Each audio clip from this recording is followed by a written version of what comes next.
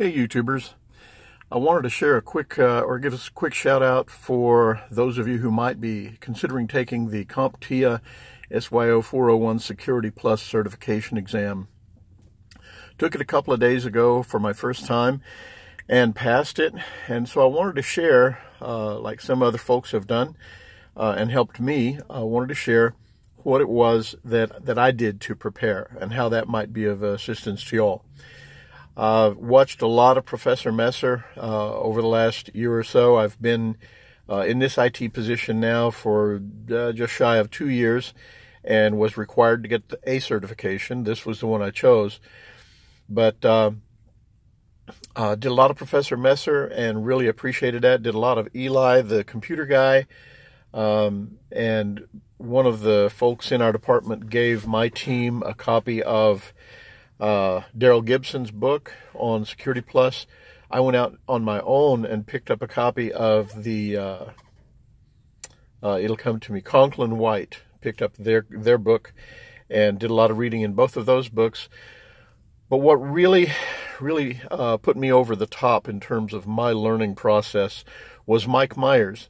Uh, you've probably seen uh, ads on as you watch YouTube, or if you're looking at videos about IT You've probably seen ads for Udemy, U-D-E-M-Y. I think that's how they pronounce it. And honestly, they were just annoying as they could be for a long time. And finally, I said, okay, okay, okay, I'll do it. So I went on Udemy, and they actually have three guys on there that are offering a 401 course. I went ahead and purchased them all. They're super inexpensive, so it's ridiculous not to get them. Um, but the one that I started off with was Mike Meyers. Shout out to Mike Meyers, you're awesome, dude. Uh, and uh, listen. In fact, I, honestly, I never got all the way through. I probably still had about 10% of the course to listen to. It's not a long course, and it comes in short, short little modules, you know, 8 to 12 minutes a piece. So you can listen to it on your cell phone while you're driving. You can listen to it, uh, you know, if you're sitting in the doctor's office waiting to do something. Um, you can watch it on your computer. I mean, you can, you know, Chromecast it up on the TV, whatever you want. But Meyers is awesome, and I got his book. I found uh, found his book because they're getting ready to switch from 401 to 501. The test is going from 401 to 501 like in June or July. So right now is a really great time to get the uh, 401 under your belt.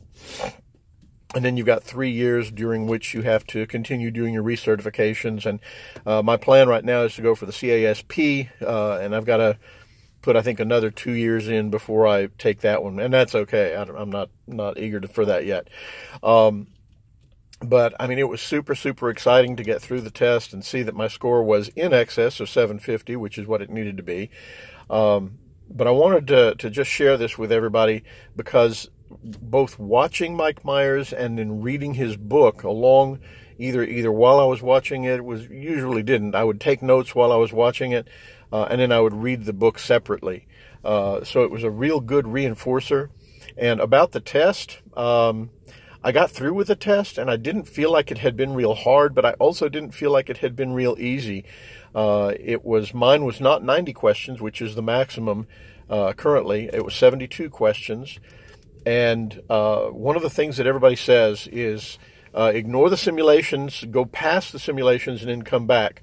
Because at the end, they give you a review screen, and as long as you flag it to come back to it, um, it, it, will show you at the end, it'll show you questions that you either flagged for review or it'll show you unanswered questions, and then you can just go to them one at a time. Um, and when you start, in my case, I don't know if this is true across the across the board, if this is the way um, what's uh, CompTIA does it for everybody. But in my case, I had 30 minutes at the beginning to read through uh, all of their uh, rules and regulations and everything, and then 90 minutes to do the test. And then there was another 15 minute survey at the end. They took 15 minutes and required that you do this survey before they tell you whether or not you passed. Um, and so in the in the uh, Darril Gibson book on page 150, there's this awesome chart of all of these different uh, port numbers, port numbers, and what goes to that port and what what what have you. Um, and I had been studying that chart and memorizing that chart and writing that chart down from memory for a long time. I mean, for for over a year. And so the first thing I did was write that chart down. And then the second thing I did, there's there's this fantastic, and I wish I could remember the link, but there's this fantastic, about a 16 minute video here on YouTube, not mine, um, that goes through is like the magic number for how to do subnetting. And to be, be honest with you, I spent a lot of time on subnetting, but there weren't any questions on subnetting. So it was like, okay, you know, I don't know. It's great to know, and eventually I'm sure I'll have to know it in terms of my professional position, but uh, didn't need to know it for the test. And that's okay. I was okay with that. Um, and people ask, you know, what were the questions about? It's like, you know, the, the, the book alone is 500 and some odd pages. Uh, you know, the courses, uh, there's, in fact, I purchased three different courses, but I never only listened to any of them except Mike Meyers. Uh, but Udemy is a great resource, uh, made a world of difference for me. Um, and so to answer the question about what, what were the questions about, they were about everything. It's like some about security, which is, I'm an identity and access management uh, analyst. Uh, some of those. There were some about uh, build physical security. There were some about networking. There was the uh, spanning tree protocol came up. So it's just you know know your protocols, and uh, there wasn't that much. I, I, there really wasn't anything about that that I had to know about the OSI or the TCP/IP models. Uh, not that I, I mean I do know them, but uh, but uh, it, it wasn't there wasn't a lot about that. So anyway, uh, for all of those of you that are considering taking it or need to take it, God bless you. Good luck to you. And uh, check out Udemy. I, I urge you to. Uh, also, now if you're in the San Antonio area, I know coming up here in another maybe just next week. This is this is the 8th of February right now of, of 2018.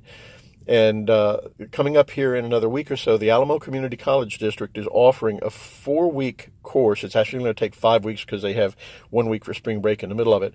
Uh, but an evening course out at their Northeast Lake View, Northeast Lake View College, I think is what it's called, out close to uh, Randolph. It's on Kitty Hawk. Um, and they'll be offering this thing as 415 bucks. Oh, additionally, for your voucher, if you are in school, if you have an edu email address, go to CompTIA. You can get the voucher for 209 bucks as opposed to 330. I also found discounted vouchers online for as little as $249. So do not spend $330 for the voucher if you can at all avoid it. Uh, what else? Uh, that's about it. Um, I had my plan. It was I'm going to take the test on the 6th. I originally planned for the 29th of January, but I was going to take it on the 6th. If I didn't make it, I was going to take that course at the Alamo Community College District uh, and then retake the test later. But uh, the Lord was on my side. So anyway, good luck to all of you, and uh, just just know that it's uh, it's okay. You'll do good. See ya.